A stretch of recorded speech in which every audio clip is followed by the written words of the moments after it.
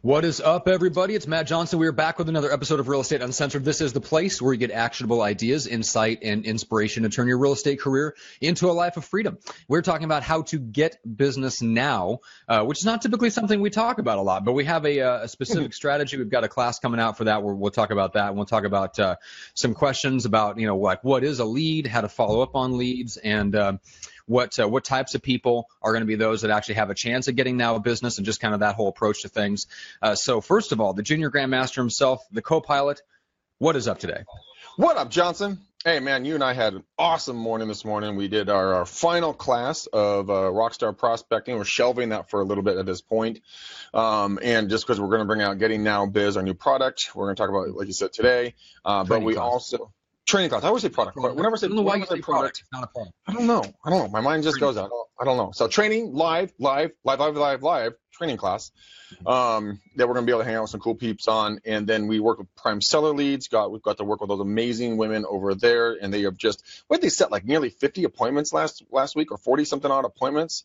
I mean, just yeah, 30, 35 some rock star number of, of, of, appointments that they set.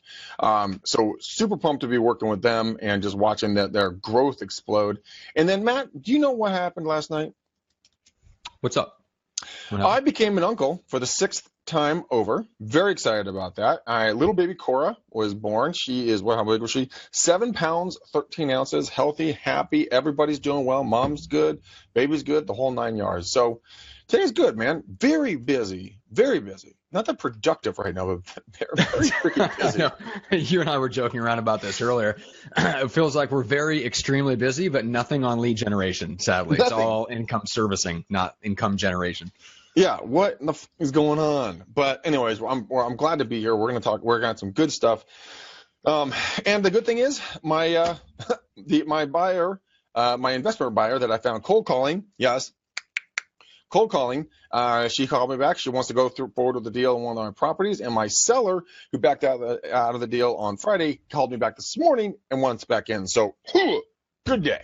Nice. That is a good day. Yeah, it is. I think. All right.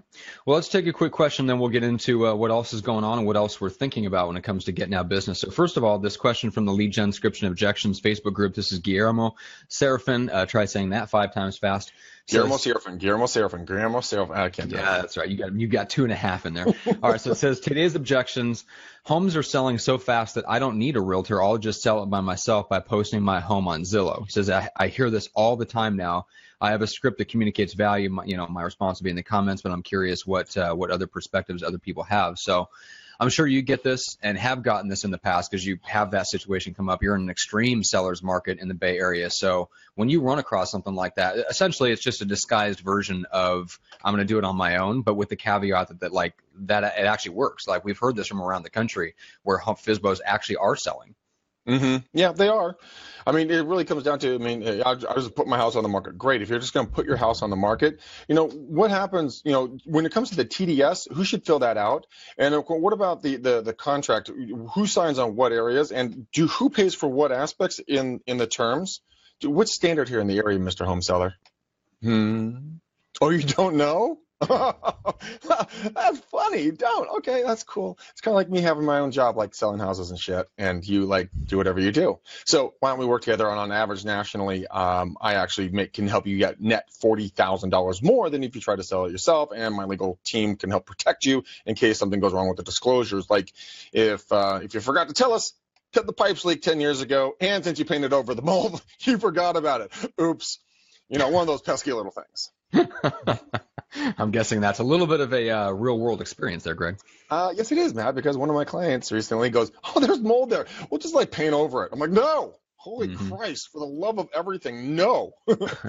that's called a disclosure issue. And what's legal, what's not legal. I mean, all these different things. But yeah, sometimes people do have the idea because they watch too much HGTV and you think everything can be done simply and easily and all, in, all by themselves, when in reality, that's not the case.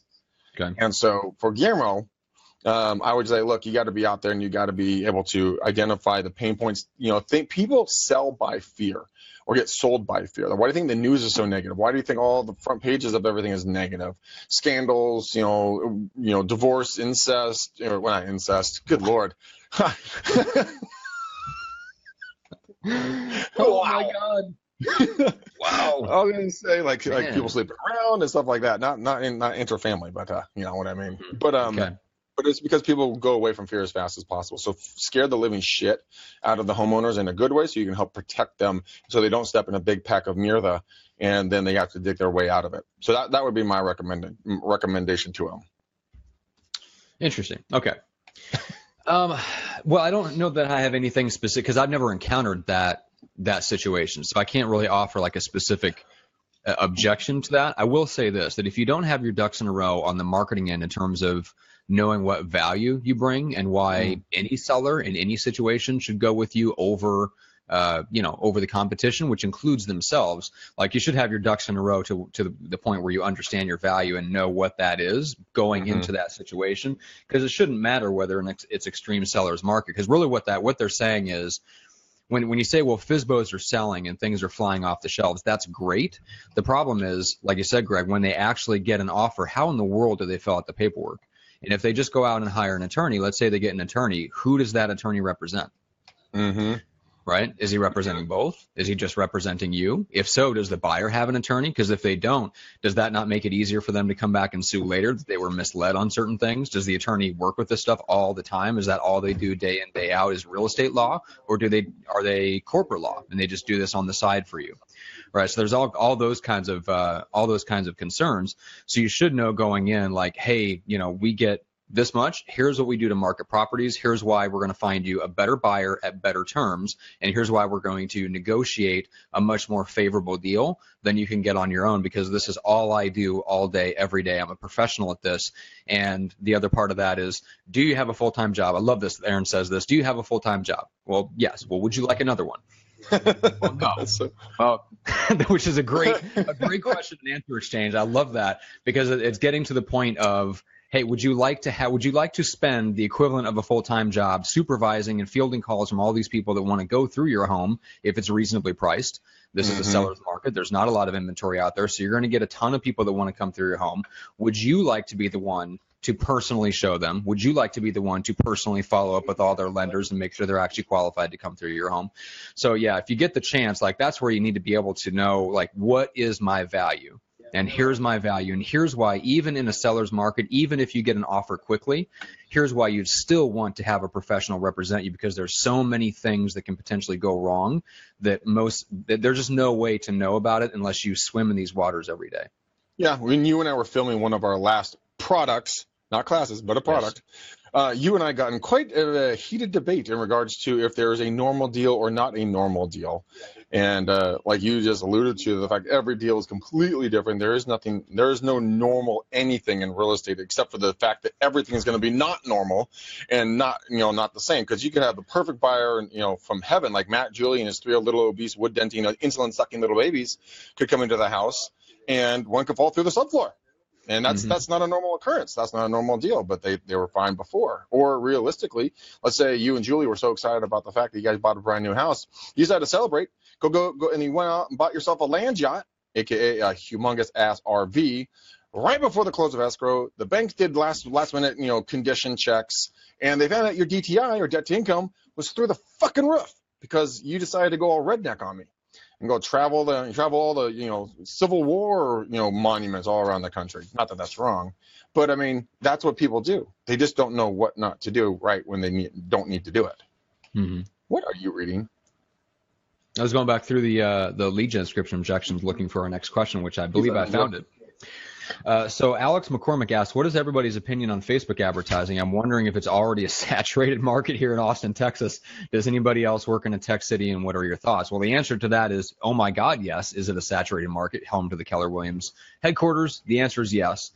Uh, but that question on like everyone, you know, the uh, opinion on Facebook advertising, a good segue into what we wanted to talk about in terms of like what is a lead, right? Mm-hmm. So Facebook advertising is good if you want to generate leads, but what are leads? So Greg, let's talk about that for a second. So to your mind, what is a lead? So a lead is a respondent to some sort of form of advertisement that has been put out there postcard uh, you know newspaper ad it could be a facebook ad it could be a, sign it could be anything that has picked up their interest and they decided to get and respond to your marketing. That, that does not mean that they are actually they are go, they are a prospect at that point. So it goes lead, suspect, prospect, active client, close, and then close and pass client. You know, so listen to that verbiage: lead, suspect, prospect, active client, past client because you got you have got to warm them up and nurture with them and drip on them and get them rocking and rolling to help them see the value and why they need to hire you. So that is what a lead is, and that, that has been browbeat into my head by my father to the fact I'm like, yeah, we got a ton of leads. He's like, no, Greg, we got a ton of respondents. I'm like, no, we got leads. He's like, no, we got respondents. I'm like, so what does that mean? He's like, well, it means it don't mean shit until you can actually nurture them through the entire process. I'm like, oh, I get it. That's why everybody on online leads, everyone thinks like, oh my God, it's an online lead. It's piping hot. We're ready to rock and roll. No, Matt, what you found is that it takes 33 online leads to get one suspect, which then will turn into a prospect, which then turn into an active lead. But you found it is one in 33, right? I am getting yes, that math right. One thirty-three, uh, yeah, for Jeff Cohn's team, you know, right. deals last year across 100,000 calls plus made.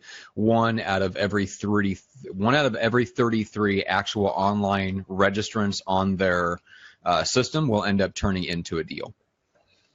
And you should probably keep that number kind of going all the way through everything. I mean, just just don't view those as active, active, hot prospects. Yeah. A real a, a, lead is just someone you're going to start off with. It's like a first date, man. You gotta mm-hmm. see if you can get the second date, and the second date is going to be, you know, a, a, prospect. A prospect is someone you're, you know, you got the criteria. They've been pre-approved. They may or not be ready to go. Then they take the leap, and then now they're an active client.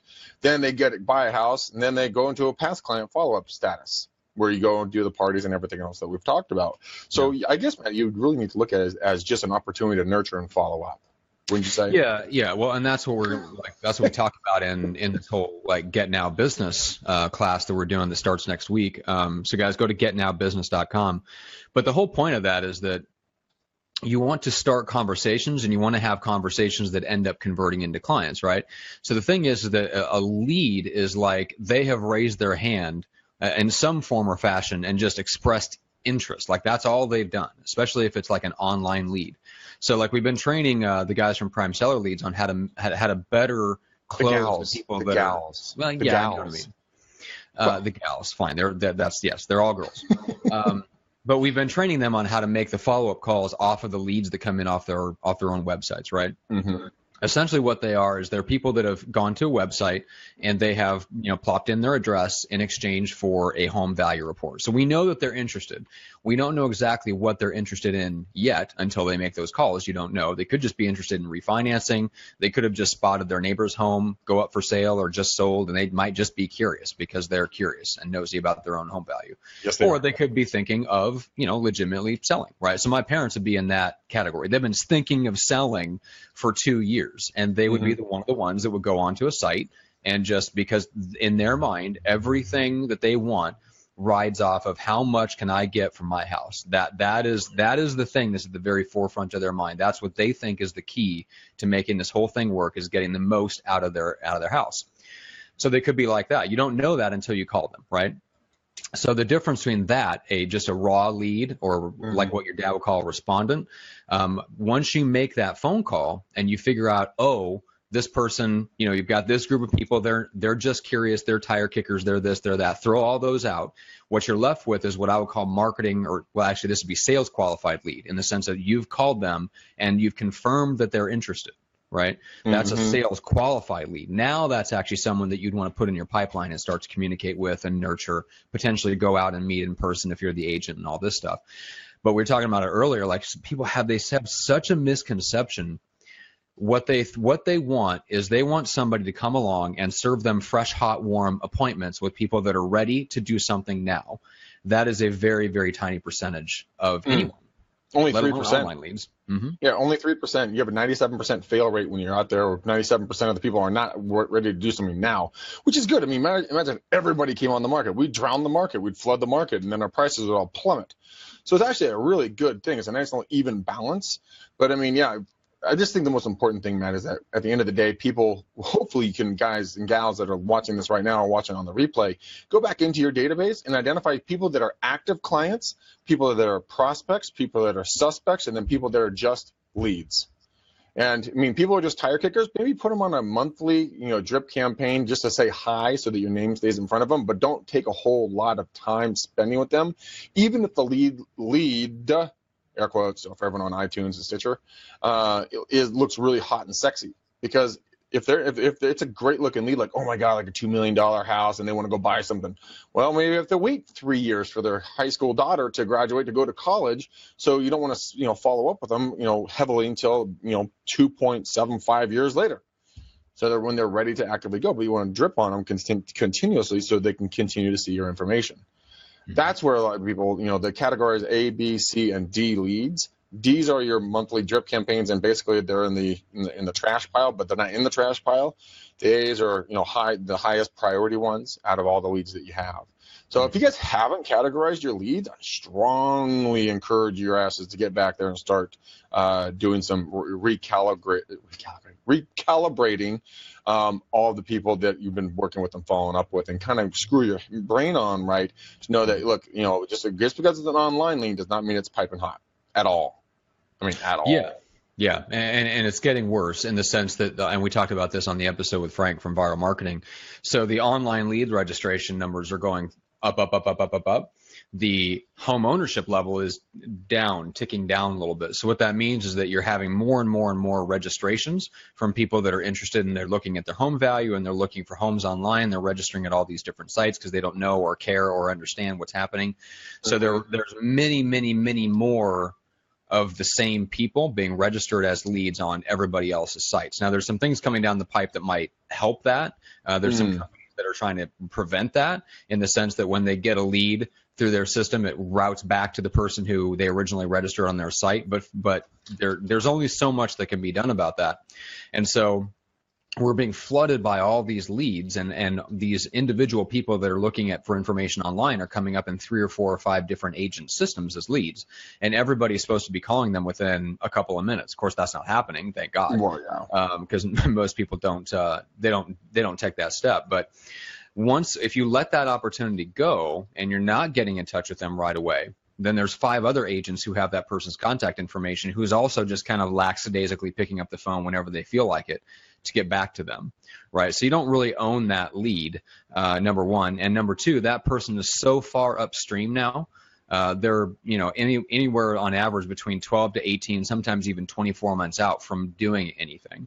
Mm-hmm. And so mm-hmm. that is like that is the long game. There's nothing wrong with it. It's a numbers game. It's purely a numbers game, and it's a waiting game right mm-hmm. and that you just have to understand that going in and that's one of the the the more frustrating parts of like coaching um, agents on how to make those calls or coaching agents who are paying for those services where they get those leads or they get those appointments is that even if you get somebody to set the appointments for you, if you go into the appointment with the wrong mindset, you go into it thinking like this person's hot and ready and you get there and they're not, you're going to be disappointed. The fault isn't theirs and the fault isn't the company that set the appointment for you. The fault is yours. It's your expectations. Mm-hmm. Everything's an expectation. Everyone has that.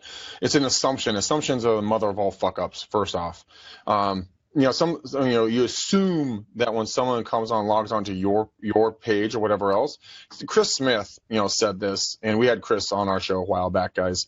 But I was listening to him talk um, a little snippet on Facebook, and he did, he made a wonderful point. He's like, look, the reason why you got to get back to someone so quickly is because within three to five minutes, they're not going to be just your lead. They're going to be like three to four, or, or maybe even five or six other people's leads. So mm-hmm. like it's, it's speed of re- recontact, and then it's just the quality of follow up that you're going to do and what kind of value you're going to bring to them.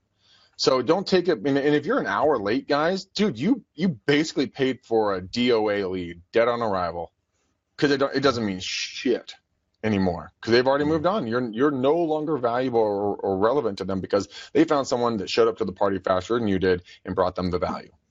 So those of you who are buying the leads out there, get your shit together and start fucking following up a lot faster than what you're doing, you will make more money. Matt, you and I were talking about, you know, we showed our our spreadsheet that every, anyone who comes to any of our classes, guys, gets the spreadsheet, the tracking sheet. So mm. the Get Now business people, we're going to show you guys how to use a spreadsheet. Um, you know, the Rockstar prospecting class that just ended today, they got the spreadsheet, but it shows you the minute, the hour, the what the lead is worth to you, what you're worth an hour, and then what what what every lead is worth to you. And by adjusting an hour up, a day up, an hour down, or maybe your conversion rate from five to seven percent, or add in a couple of weeks a year to, that you're working that you take vacations on, or moving your price point up by fifty thousand, how it dramatically affects the amount of money you can make. Mm-hmm. But it also talks about how fast you need to respond. That all, you know, how many deals you can do based upon, you know, the, the amount of leads you get.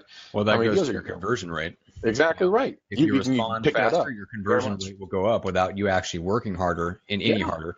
Now, if you're if you're like me and you're not interested in responding quickly, then don't buy leads. I mean, that's that's the easy solution to that. There's other ways to generate leads rather than like online buyer leads. But if you're going to pay for them, um, yeah, if, if you're not dedicated to making the calls within that first five minutes, you really are just essentially be better off partnering with another agent and just calling their old leads. Uh, and because at that point, it's a total crapshoot. So you might as well not pay for the leads, offer to call through somebody else's, and just split the split the percentage with them uh, and not pay for for the leads. Yeah, I mean, that, and we're, that's that's the whole thing about you know Get Business Now product is, guys, it's gonna be under five hundred dollars a budget, a, a, monthly budget on marketing, or, or just in real estate, and no door knocking, no cold calling. Mm-hmm. Are you fucking kidding me? How would you not want to learn that? I mean, every person I've talked to, you know, d- does not like to do cold door knocking or cold prospecting in any way, shape, or form. And I think we, I think honestly, Matt, we may have found the, the, the, the, secret, you know, button on this one a little bit, at least on prospecting. I mean, not on real estate as a whole, but just mm-hmm. taking away the major pain points. And that's right. of how to generate, yeah, business as quickly as possible, clients that close as quickly as they possibly can, that puts money into your pocket, um, without going the cold, the cold door knocking, cold calling route. Yeah, absolutely. Yeah. So guys, here I'm putting in to the link right now. Um, get business now. It's gonna say getnowbusiness.com. Get now business. Yeah, whatever. Dyslexia, dyslexia kicking in. Uh, it's there in the link, guys. Uh, go ahead and take click on that if you're interested in learning about it look, yeah, we're we're pushing it a little bit because this is something that needs to be pushed. We're pushing this because yeah, this is what you guys asked just for. Too much. It's way too much depth than we can go into in the show. Like we have a lot of fun on the show and stuff, but God, this is like this content is like way too much uh, for us to go in on the show. Um, but let's take another question because it kind of follows yeah. along with what we've been talking about. Linda Demoro said, uh, "Someone I know just reached out for real estate advice on buying a house, and then I found out they're already looking at houses. What's the best approach to find out if they're already working with another agent, and if not, to get them on board with me? Okay, so the friend reached out to get advice, but they're already looking at houses, and she doesn't know if they have another agent. She thinks they might be, right? Right, right. All right, I'm gonna. I, this is revolutionary. Revolutionary. Matt. Yes, Greg. Matt, are you working with another agent to help you find houses? No, Greg, I'm not. Well, great. I would love to be that agent. Okay, that's fantastic. All right. Revolutionary. You asked the fucking question. Yeah, I know. I know. I know. Calm yourself. But but I mean people just take it so so they they they over fucking think this stuff so much. Mm-hmm. Just well, here's here's the deal, guys. So it goes back, to, and the second part of this question is, if not, how do I get them on board with working with me? That goes back to understanding your value, understanding the answer, and having an answer to the question, why should I work with you versus anybody else that's out there? If you don't have a good answer to that question, it's going to be very tough for you outside of just the personal relationship uh, to get someone on board with working with you if they've already been seeing homes with somebody else. And of course, you don't want to like pull them away from another agent. Mm-mm, mm-mm. Um, if there's, you know, at that point, if they if you if they say they've looked at homes with somebody else, then you would the natural question would be, great. Have you signed like a buyer agency agreement so that they know that you're the one agent they're working with? And if not, and regardless of what the answer is, you can always follow up with say, you know, I'm just curious why, like, why are why are you reaching out? We're just looking for a second opinion on top of what your agent is telling you, right? Because uh, if they're just reaching out to you for for advice as a friend or something to see if their agent, you know, whatever, g- answer their question or give them some advice and move on. But if they don't have an agent, they don't have, uh, or they don't have a buyer agency agreement, then you know, I don't see anything wrong with at least saying like, well, I can, I'm certainly willing to give you a second opinion. And if you like what I do and you like my approach to helping buyers find the home of their dreams, then potentially we can go look at some homes together. But you have to know what that answer is, right? So let's talk that through for a second, Greg. Like when when you kind of make that proposition to a buyer, mm-hmm. you have a certain set of things. Like we we've talked about kind of what your value proposition is to a seller, right? You've got your brochure, you've got your team, and yada yada, all the experience. What's your value proposition to a buyer about why they should work with Greg versus any other door monkey that can uh, open a lockbox? I love that phrase. Dude, I just remember seeing Tom Ferry do that. He just stuck his butt to the audience and wiggled his butt around like he was like the agent, like opening the lockbook, like, "Hi guys." So like, what's going on? And just wiggling his butt. And I was just like, ugh, nobody wants to see your butt, man. Ugh. That's always telling my buyers, hey, look at the shades of that house over there. I'm like, open the door. Oh man. Um. So guys, this would be super, super simple. Why, Matt? Why are you, Julie, your three obese little wood denting, insulin sucking little babies, big babies, not little babies, nothing's little about that those kids. All when you're big, big, right. big, bone, big bone baby elephants. All right. They're big um, bone. Stop it. Big bone baby elephants. Ah, that's another phrase that's getting tacked onto them. Uh, any, anybody with body complexes is like, what the fuck is wrong with this asshole? Um, but here's the question, Matt. Matt, Julie, hey, I know anybody can show you anything that's out there but I'm actually a little bit unique. I actually have access to a secret MLS, the properties that aren't on the market, the people that are actually wanting to sell, and I can tap into that and see if there's if some of them might you know fit your wants and needs. Would that would that be uh, valuable to you? Well, yeah, absolutely. Great. Let, let's sit down and talk about what you're looking for.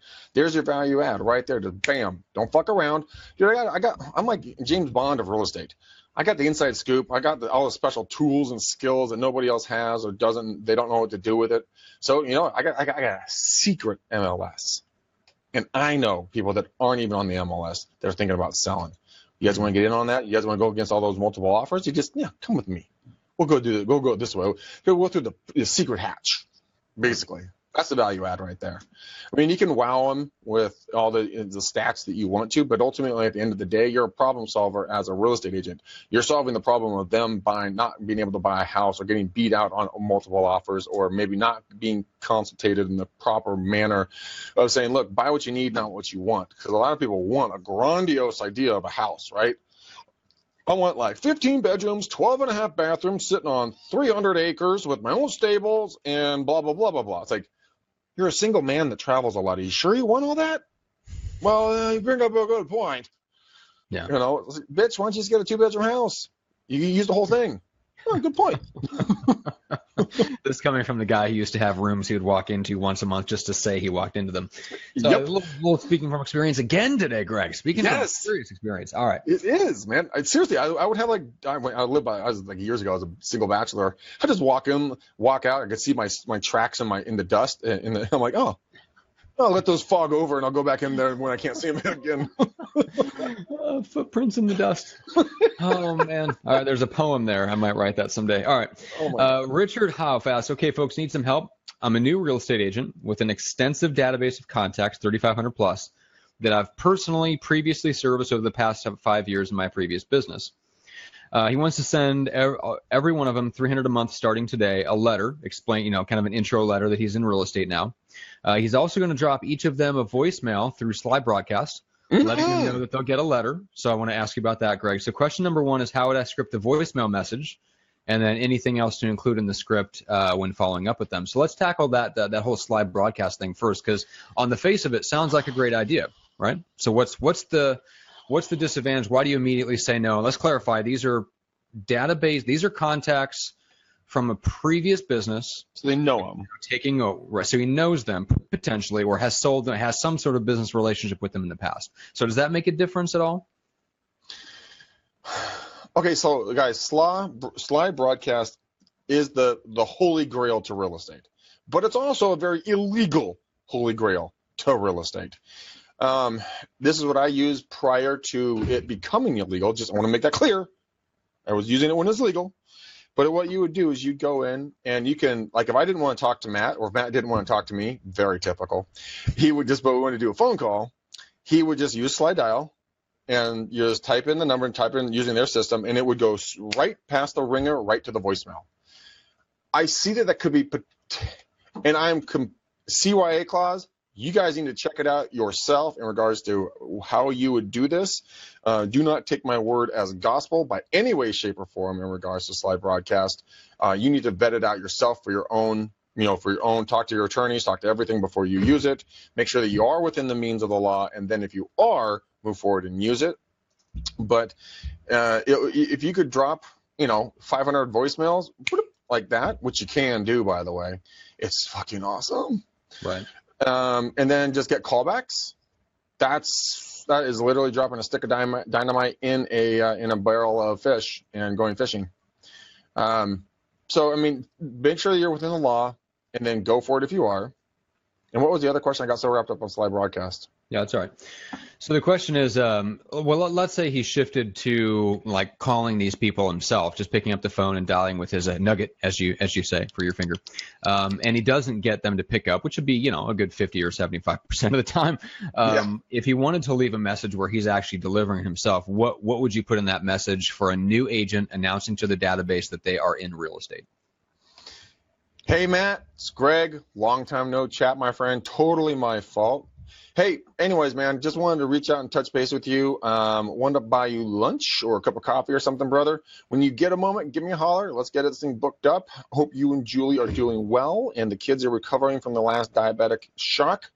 But uh, I trust that you will not be force feeding them Twinkies anymore. So, hey, look forward to talking to you, man. We'll go get some health food later. Bye. Click minus the you know slandering of his you know over obese children. It's basically just a reconnection of you know of getting to get, get getting together because they're going to want to talk to you. Uh, ho- hopefully, if, if they actually still like you, um, and be able to just reconnect with them, and then and then use the Ford method: family, occupation, recreation, and dreams, and just take them through the you know Ford all over them at lunch or at coffee, not in an awkward and weird way, but you know in a nice normal way. But drawing questions out, they're going to ask eventually ask about you, and they're going to say, well, you know what, what's new with me? Well, um, well, I fall, I fall, I'm following my passion. You know, you know, I talked about it a lot later earlier. You know, I'm, I'm, I got into real estate full time, and I just love it. You know, I just a freedom and everything is unbelievable. And well, speaking of that, you know, anyone you know that's thinking about buying or selling, or anyone I should talk to, or maybe get advice to, boom. Okay. That's how that's how I do it. Okay. That's how you get get together with people there. It, yeah. It's it's it's not hard, guys. It's very simple. But, but you know, people don't want to do it because they're afraid of the rejection. Mm-hmm. That's how. You know, I was talking to somebody somebody the other day, and they were. I was harping on them like, dude, you've got to ask for what you want. If you do not ask for what you want, you will never get it. This person was like, well, I don't want to get rejected. I'm like, yeah, that's part of life, but at least you got to put yourself out there to get the acceptance or the rejection. And this person was just like, well, I don't want to get rejected. I'm like, God damn it. I know. We none of us do but you have to ask. And that's all it is, guys. Just moving these th- things called lips and going, are you thinking about buying or selling? And that's it. That's it. all right. And what would, well, one of the things we covered in, um, uh, we covered in getting out business and then we're also covering it in this this course we're putting together for new agents. We talk about like how to kind of solve that problem of not feeling like you have the credibility to ask, right? Because I think that's mm-hmm. what a lot of new agents or agents who are kind of starting over, if you're kind of parachuting into a new area, maybe you know real estate, but you don't know the area, whatever it is, like maybe there's some mental blocks that are holding you back to where you feel awkward asking because you feel like you don't have the credibility to ask um, there is a way around that, and that's with putting out content. We show you how to do that. So just know that, um, like in that course, we get into that a little bit in the sense that it's not just about asking and faking it. There is a way that you can legitimately like build your credibility to the point where you are more comfortable asking for those referrals, right? Right. Okay. So totally go Disney on your ass for a second. Okay. Um, I I don't know what kind of mood I was in, but I I watched the movie Finding Dory over the weekend. Um, the Disney movie about the yeah. Uh, alone. alone. By yourself, Greg? Yes, man, by my fucking by self. By yourself. All but right. there is a lesson to be learned here from the little blue fish named Dory. Uh, did you did you forget it? Because that would be amazingly ironic. Wait, what? What movie? What yeah, movie? Exactly. I don't get it. Uh-huh. No, so so here here's the point that in Finding Dory that I want to bring into this anyone who hasn't seen this, uh, she's a fish and she forgets like she's like 10 second Tom. You know, she's like, "Hi, my name's Dory." Hi, my name's Dory. So the thing is, she just does things without really thinking them through because she doesn't know the consequences. She just kind of just bulldozes through life, right? Okay. And at one point, you know, Nemo and his dad were trying to find Ne- Dory, and they were like, "Well, what would Dory do?" Well, she would just go for it and just do it. She wouldn't overthink it.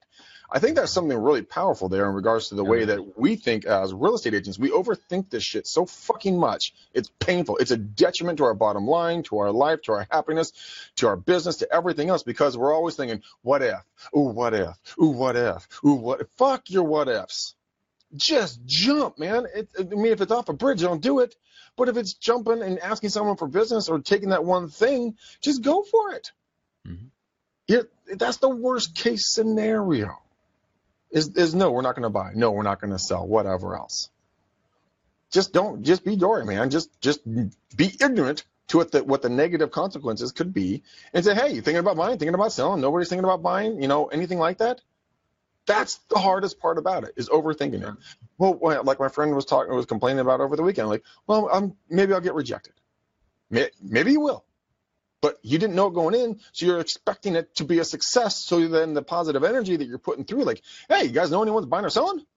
It's not. It's it's that versus like, so, uh, like, uh, do you know any? Do you want you you you don't you don't know? No, you wouldn't know anyone's thinking of. No, positive, you don't know anyone's thinking. Nope, you're not thinking of selling, buying. Are you? Forget I asked. Well, you, you, you didn't even bring that up. You didn't you even- just shoulder roll through a plate glass window and run down the street. Oh man.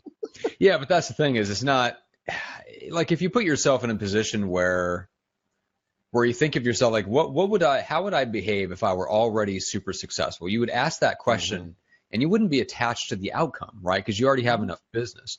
Like that's the way like try to put yourself and imagine what that would feel like if you just go, yeah, you know, like uh, if there's anybody that you know that's looking to buy or sell, I'd love to talk to them. You know, here's here's my ideal client. I would love to know what what yours is because I want to keep an eye out for you too. But here's what I'm looking for. and just Mhm. tell them what you were looking for. I mean, that's that's one of the things I loved about Jeff Cohn and his approach to how he got into the business. And I wish I would have imitated this. I, I was clear about who I wanted to work with, but I wasn't clear about training my database on who I wanted to work with. Right. So Mm. that's that's where Jeff beat me out, and he's a freaking genius in the sense that he trained his database on what he was looking for, like who they, who they could look out for, and why he worked with them specifically, Mhm. right? So they had, Mhm. so they were kind of like they had that uh, reticular activating system going in the sense that when they're out and about, they would, you know, he they he they knew what he was looking for. They knew like who he wanted to work with, and it registers in your brain. It's not just oh Jeff's in real estate or Greg's in real estate. They work with anybody, everywhere, all the time. Anybody. Uh, you want to give them something specific, and you want to be clear about it for yourself. You want to know who you're looking to work with. That way, you can ask other people who their ideal clients are, and you can tell them who you're looking for. That way, if they go, oh well, man, that dude, that's me. Like that's I have a wife and two kids, and I need a, another bedroom on my house. Well, great. Mhm. You know, but what if that's not them? Still great. They know a bunch of people that are, and they can actually keep an eye out for them now that you tell them what you're looking for. Um, I just Yeah. figured out a great idea, Matt. Hmm. I found out a great lead source. Lamaze classes. Fucking genius. I say fucking genius. okay. Hey, baby on board, dude. They're gonna need more room. Why, This is is why have we never thought about this? Because you and I don't go to Lamaze classes, Greg. That's why you've never thought about this before. Wait, you, do, and you do thank those God. I'm a little disturbed that you thought about it at all. You don't do those on Saturday afternoons at two? Oh, no, fuck, I do not. Down at the community center? No, absolutely. so you know where they are. I'm, I'm guessing based on every sitcom I've ever seen that all all Lamaze classes are run by women in their 50s at the community center. But that's all I know about Lamaze classes, and and possibly all I ever will know. But anyway, um, so it's what what's interesting is um, so guys, I produce a podcast called Legends and Losers, which you guys could, should go check out immediately. The host of that show has been on Yeah. our show before, Chris Lochhead. He is phenomenal, and the show is amazing. Super cool. They just interviewed Stanley McChrystal, uh, General Stanley McChrystal, whose episode is coming out this week. But Ooh. point being, uh, Chris tried to send me a referral to somebody who was not an ideal client for me. They wanted help and advice or whatever on social media, but they weren't necessarily looking to start a podcast. They just wanted like advice, right? So I said no. Uh, so that's that's really not like we're looking for like this specific type of person that's looking to run a podcast. Like that's our ideal client. Doesn't sound like he fits really into that box. So no, I, there's some better places where where I can send him. Let me you know let me help you find somebody else you can send him to. And he was so impressed with that. He talked about it on a couple of other podcasts how blown away he was by how disciplined I was in keeping to my ideal client. Guess who knows exactly what I'm looking for now and is keeping an eye out for me. Uh, that'd be Chris Lochhead, Matt. That would be Chris Lochhead. That'd be Chris Lochhead. Right. And by the way, guys, and the reason I got Chris Lochhead is because Matt Aitchison, who hosts the Millionaire Mindcast, by the way, knows what I do and knows who I'm looking for, which is why he sent me a referral to Chris Lochhead in the first place, even though Matt's just a, a you know a friend and connection to the business and not ever has never done any business with us. He, he was on um, an episode of Pursuing Results when we ran that last year, um, but he knew what we were looking, what I was looking for, and he sent me a perfect client. So basically, you're telling me, Matt, what we talk about on this show, we actually do in our own businesses. Is that what you? Saying so. I don't know. I don't know about that. Now, practice what we preach, Greg. That doesn't sound like anybody in real estate to me. nope. Not one bit. I just choked on water. All right, let's take another question real quick. We've got about 10 minutes, or we've got about 15 minutes left. Michelle Grant says, Help, I just got a call from a seller of a million dollar property that just expired. He found me on Zillow, said it looked like I had a lot of activity in the area, and he wants to do an open listing with two or three agents because the exclusive listing, quote, didn't go well. Um, no. So how no. would you no. how would you handle a Fuck request no. to do an open listing? Fuck no. Okay, Fuck well, hell no. For those that are newer to the business, what's an open listing? It's when you do not have the exclusive listing, which means you can hustle your rear end off. Uh, I have an, I have the non-exclusive listing. Matt comes in and swoops in and brings the buyer in and kicks me all the way out. I have no I have no recourse. I don't get paid off for all the time and money that I'm that I put into that thing. So hell fucking no. It is a waste of time, waste of energy, waste of resources. You go work with any other person that, that's out there that's actually going to be committed to you because guys, you bring your time and your knowledge. I've said this so many times your time and your knowledge. Time, n- exclusive listings only. End of story. All right. You can partner on a listing, but it's exclusive. So no one else can come in and cut you out and take the money that you worked hard for. Uh, and then your knowledge. He's hiring you because he says, wow, you look like you know what you're doing, but I'm still going to do everything best for me and not, and kind of tr- try to screw you out of this. Fuck you. No. Not Yeah. absolutely not. And if you guys don't get it, I'm a- I have an opinion here, a little one. If you don't if you don't get it, if they don't understand, It's a joke. I'm being sarcastic. Oh, okay. All right. Well, here, here's I'm going to give my perspective on this real quick because I doubt that they know the inside baseball of what that really means. What they think that means is three people working equally hard to bring me somebody. Obviously, what it really means is that three people not working hard at all and doing nothing uh, because there's no there's no guaranteed reward for the risk. Which, but I, I guarantee that person doesn't understand that. So if you explain that to them, and you say, look, I'm perfectly happy and and willing willing to have a conversation about co-listing with the right agent if we have complementary skills. Let's say we work different areas and we have different types of Mhm. buyers coming in from different areas that might be a good fit for your home. You know, that that happens uh, you know, not all the time, but regularly enough, you know, That'd like for fine. example, the Playboy Mansion was co-listed. Uh, worked out just fine. You know, both of the brokers listed that and did very well. Uh, so I'm open to that conversation. But Mr. Seller, here's what actually happens when you have quote an open listing. What you have is that people don't have an incentive to put their their time and their resources and their money on the line because there's no guarantee that if the buyer comes that they'll get anything out of it on the other side in terms of commission. So if you would like to for people to if you want to have two or three people working on your behalf actively, then you just have them co-list the property and it's an exclusive listing with two agents rather than an open listing. So you get what you want, which is multiple people working hard for you, but those people have an incentive to put their money and their resources on the line for you. So you- like I see what you're saying, but what you're looking for is here's a different route to your goal, which is to have two agents working really hard to get your home sold. Yeah, I mean, it, the reason why I feel so passionate about this, guys, because when early on in my in my career, I did an open listing. I'm like, Did you I'm like, oh, yeah, that's why. Hmm. We've That's why never I, talked about this before. Always, always with the Pandora's box of newness. it's Greg. a, I've repressed the the horrors Oh. of that experience. All right, hang on. Greg is Greg is getting on the couch for us right now. Ah. He's going to ah. recline a little bit. I- I've got my yellow right. legal pad out. Here we go. Let's talk this right. over. Greg, please tell me how it made you feel to ah. take that open listing. Fucking suck, dude. Uh, the reason why is that you know the individual that that had the listing, he basically what he does what, what they do is they just basically use you for your time and knowledge, and then they just leave you high and dry because if they can, if what if they bring in a buyer, then they can go to an attorney. Five hundred dollars later, they got a contract written, and the the attorney takes it all the way through, and you did all the work. Or another agent comes in, and so I had another agent come in, and basically just I mean they had a buyer and I didn't have a buyer, so I got xed out of the deal. And that was like a month or two after we had been working hard on doing open houses, doing all this other stuff. We got ousted, and I said, "Well, this is stupid. Why would I? Why would someone do this? It's like a crapshoot, and there's no, and there's no point of, of playing the game because you're not going to get paid." I just really don't see the point in it at all. Mm-hmm. I mean, I, I think that you just get bent over and taken advantage of on those types of deals. And sure, there are certain types of sellers that will gladly do that for you or do that to you because it's their bottom line that they're trying to maximize. When you have to understand this is your your business, you have to be you have to be respected, you know, both for your time and for who you are as a professional, mm-hmm. and they need to pay you for that. Yeah. End of story. Yeah.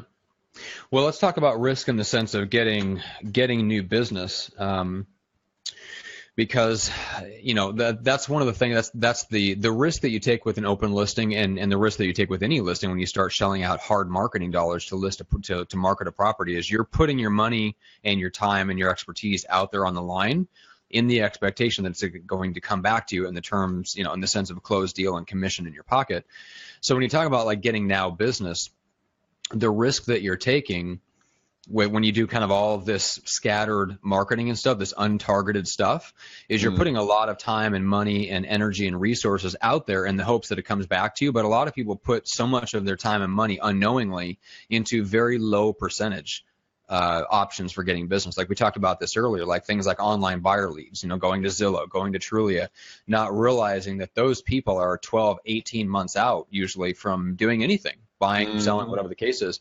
And so that that's what we want to talk about, you know, just in terms of like the Get Now business course. That's why we put this together is to keep you from kind of floundering around in the dark, just doing whatever shiny objects come across your way, because a lot of them will be like that. They require you to risk time, effort, money, resources in the hopes of getting it back, but the timelines for getting it back are probably longer than you're thinking. Mm-hmm. So we wanted to kind of clue you in on, well, what groups of people can you go to that does have a legitimate shot at getting you now business because it's not everyone.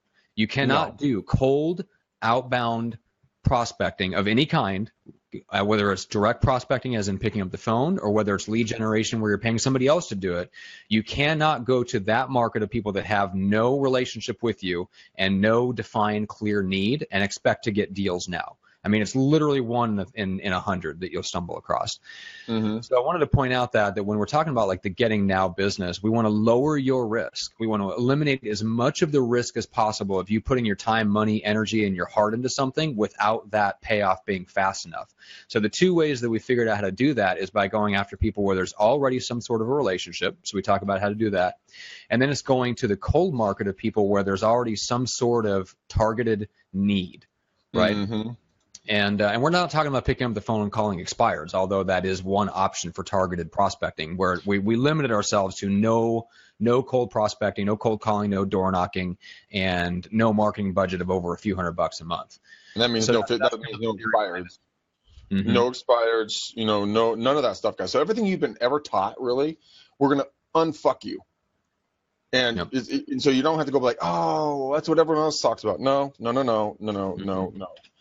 And I mean, we're, I mean, in, you, know, the, you know, the easy stuff, the harder stuff. I mean, I have our I have our outline right here. Oh look, I'm not showing the front. I'm showing the back. Why, Matt? Because it's secret. That's right. so, oh my God. So we're going to talk about how to get buyers at no cost to you. Um, we're going to talk about how to generate and get a raving fan club around you that want to see you succeed, uh, and that will be you know more than willing to bring you uh, warm or hot buyers that want to do something within the next one to three months. Man, I think what was our time frame? Like 90 days to close, wasn't that it? Mm-hmm. Yep. Yep. Under $500 within 90 days, have a check in your hand and no cold calling and no door knocking. Mm-hmm. I mean, who doesn't want to sign up for that? Holy shit balls! And Josh Bryan, appreciate you signing up, player. It'd be good to have you in there, my friend. Yes, absolutely. Now I'm psyched. Yeah, now since Josh is gonna be there. Yeah, gonna be awesome. And that, Matt, Josh is a good dude. He's been doing a lot of very, very good stuff, um, and is becoming more and more successful. You'll be hearing more from Josh. We'll end up interviewing him on the show about what he's Mhm. doing because he's gone from from new agent uh, to well on his way to being a very successful agent in Chicago, um, and partially due to things that he's learned from this show and from Josh Smith and guys like that. And and like you said, Greg, uh, I wanted to point this out real quick, guys. So I'm going through. I found this book. Psycho Cybernetics, which is a classic by Maxwell Maltz. You, you'll hear a lot of other people refer to this. Tony Robbins refers to it and yada yada. I'd never read it before. I stumbled across it in a quaint little bookshop this weekend and have already dived into it. It is absolutely amazing, and he makes he makes the point that our subconscious mind is like a guided missile, right? Which is it uh, get into action and then you course correct along the way and bam you'll hit your you'll hit your target. So greg you made the point about like getting into action and so many people want to sit back and analyze and they want to have everything figured out before they get into action. Mhm. that is the wrong approach and and this and this really goes into why that is because your brain is not built to operate like that.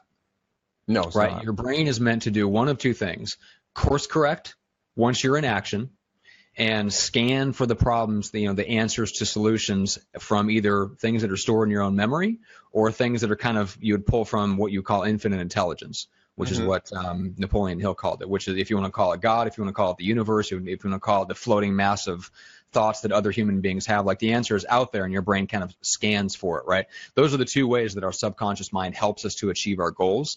So Mm-hmm. guys, if you don't, uh, that that really hit me hard because I am the type, Greg, you are the type where you just freaking get into action and figure it out later. I'm the type that I want to analyze it first and then really attack it.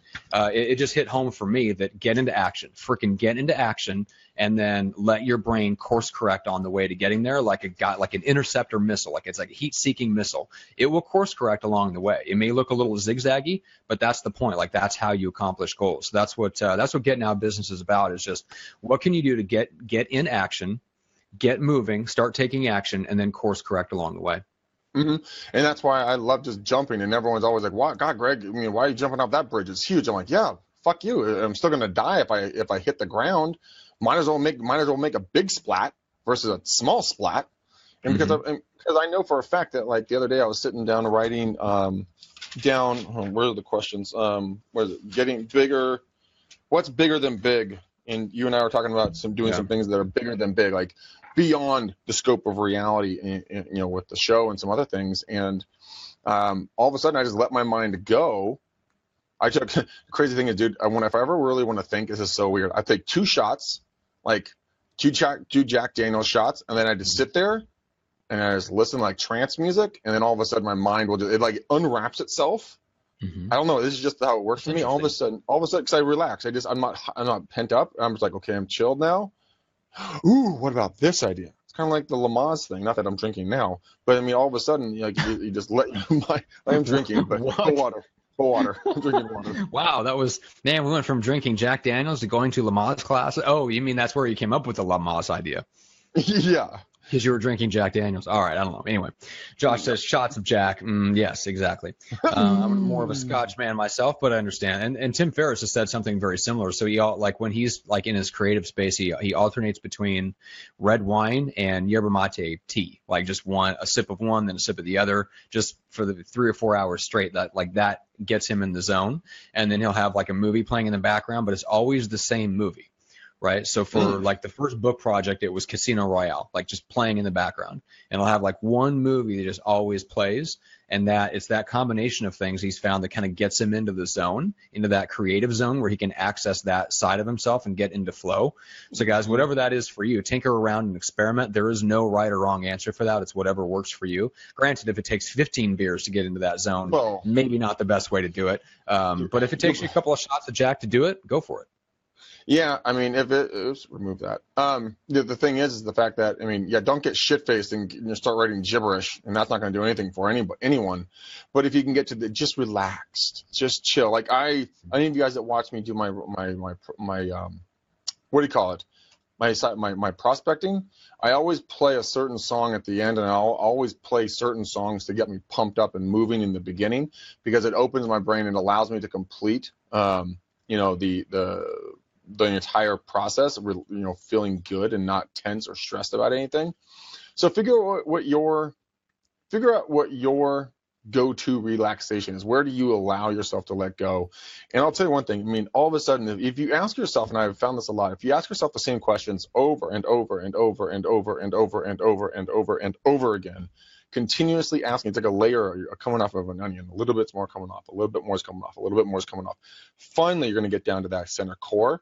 You can be like, aha, that's the answer. And it will hit you probably in the shower or in the middle of the night. You'll probably sit up like you got shocked, like, oh, I know what it is. Yep. Because you've allowed your brain to go to that infinite reality, infinite intelligence. if you want to read a book that will blow your fucking mind on that kind of a thing, read many, many, uh, many lives, many masters. That book is a trip. Really? A, psychologist, a psychologist um, worked with one of his patients, an attractive blonde lady, like in the 80s or something like that. And she had all these phobias and fears. And this never happened before and it didn't happen after this experience. But it went in and she would go into trance, she would go into a trance, um, well, I guess, you know, a, a guided, you know, trance. And mm-hmm. she would describe down to the T different time periods, different areas, different things that she, there's no way she could ever know. And she would die multiple times in, in past lives and it would open up and peel back the different lives that she had lived and I first started listening to it. I'm like, nah, that's fucking bullshit.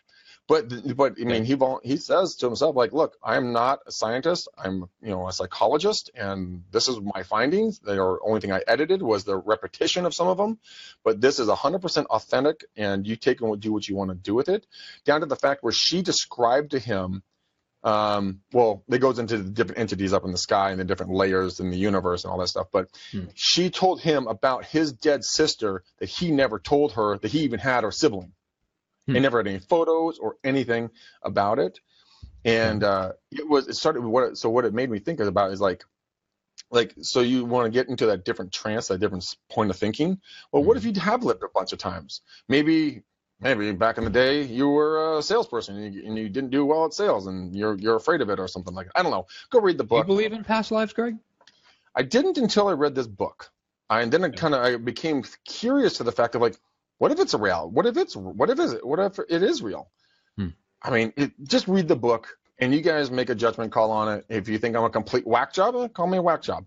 If you think there's something there, well, maybe there's something there, but you make your own decisions up. But it has to go back to the the infinite intelligence in the sky and allowing your mind just to go there versus just limiting yourself and staying here in your current reality. Allow yourself to go find the other reality that's out there because it is there. I mean, it mm-hmm. there yeah, that's, that's one of the points he makes in, in, in the book Psycho Cybernetics is says when you when you tackle a problem, you have to start from the premise that the answer is out there. It says uh, when we set out to find a new idea or to answer a problem, we must assume that the answer exists already somewhere and set out to find it.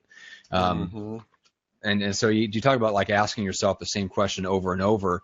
Like that doesn't do any good if you don't acknowledge or believe that the answer is somewhere. If you kind of go mm-hmm. into it with a closed mind, you'll come out with nothing.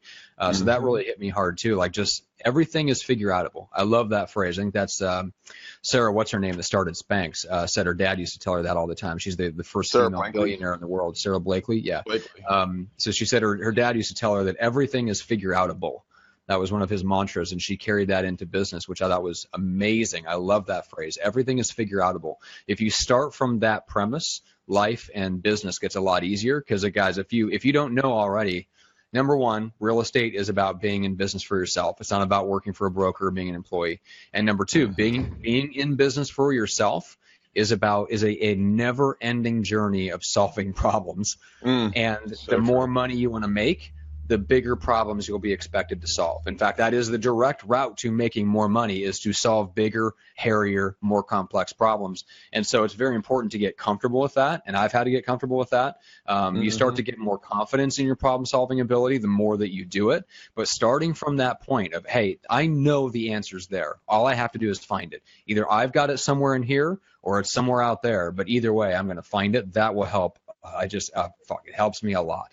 Yeah, and it just it's believe it's man, it would be self belief. You believe you can do it. Going back to being Dory, you just you just believe you can do it. You don't know anything else. You know, we've talked right. about you know objections when it comes to um, getting numbers and names and stuff from people at open houses or at door knocking or cold yeah. calling. So and you just, just you just expect the fact like yo, so what's your best uh what's your best address again or email? You just look down and just expect it. 'cause Just you in got it case. the last ten pounds. Just in case.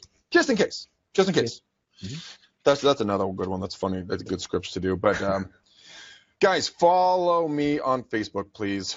Um, I think I think you have to actually try to friend me. Then it says that you follow me versus friend me because I think that's how it works. But anyways, guys, go follow me on Facebook if you guys like kind of what we're talking about here. Uh, if you want to see you know more of what I do, like the live prospecting I do uh, Monday through Thursday for most part uh, at 4:30 Pacific Standard Time, we will see me execute on. Um, on my scripts and my dialogues and how to communicate with people, I either irate or very nice on the phones. You know, I last week I got uh, the day I didn't want to do anything, guys, was on a Tuesday, not feeling 100%, and I just I told myself, well, I'll, I'll just go home and sit, get in my comfy clothes and get in my couch because I'm not feeling good. Well, I said, no, no, no, I have to honor my, you know, I have to honor, you know, my commitment to what uh, what you guys, you know, I tell you I'm going to do. So I got on the phone, Matt. I found three people two of which are buy sells, and one of them is just a buy. Um, and so it's just unbelievable if you stay true and you just hustle and grind. So follow me there, guys. Uh, Instagram, I'm McDaniel.cal, McDaniel.callahan. No, it's McDanielCallahan.real estate. Yeah, whatever. You'll Yeah. find me. That's right. Uh, and then uh, REU444 on Snapchat, which, guys, I epically suck at, so please don't expect a lot from me there. Just to be honest. And then, Matt, where, are the, where can they find you? Follow me on Facebook. Uh, I am pursuing results. That is the best way to find me and connect with me. Okay, so that's super easy. Matt, what do we have coming up on our next shows?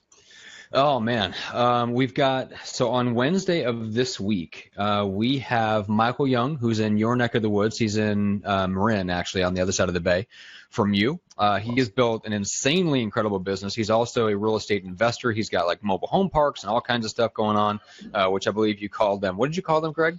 Tin Um, cans that spit out money. Tin cans to spit out money. so he's going to talk about how to build a no complication business, which is which is fascinating. He's also uh, he's also going to talk a little bit about how he works probate leads. Uh, and how he's built re- relationships with people that send him business. So you want to talk about like building those high level kind of like relationships with other business owners. So we've got that coming up. That's on Wednesday.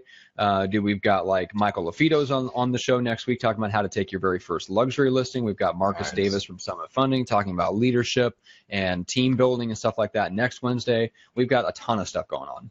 Wow, dude, talk about an A-list heavy hitter group of folks, man. Mm-hmm. That's why I love what we do, man. We get to meet some seriously awesome people, get to mm-hmm. hang out to, you know, together, pick on each other, and just, you know, impart good knowledge that, that help people live the life of their dreams. So, guys, as you guys we know, we always say this in every show, and you have to understand that we truly mean it.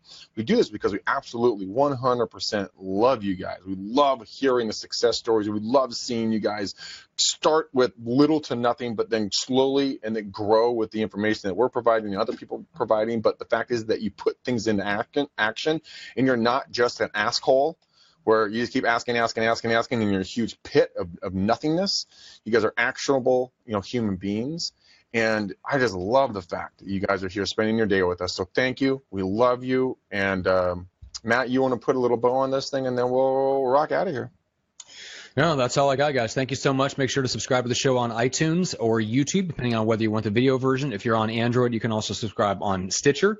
Uh, and like I said, go get the book Psycho Cybernetics by Maxwell Maltz. It is amazing. Um, if you do nothing but read the foreword and the first chapter, I was telling somebody today, uh, it can literally change your life. This book is a life changer. So guys, go go get it immediately. You will not regret it. It's an older one. It's a classic, uh, but go get it immediately and uh, and start implementing it. Well, I just bought it, so I am Cool. totally going to do it. Good. See, Greg gets into action, and that's why he's successful. I did. I'm like, ooh, That's is it I gotta say. But the funny thing is, Matt, I had to wait for you to post the name of it on Facebook. So I'm like, how the fuck do you spell psycho? I'm like, God damn it, dyslexia. All right, guys. We're out of here. And as I always say, peace out, ninjas. We go.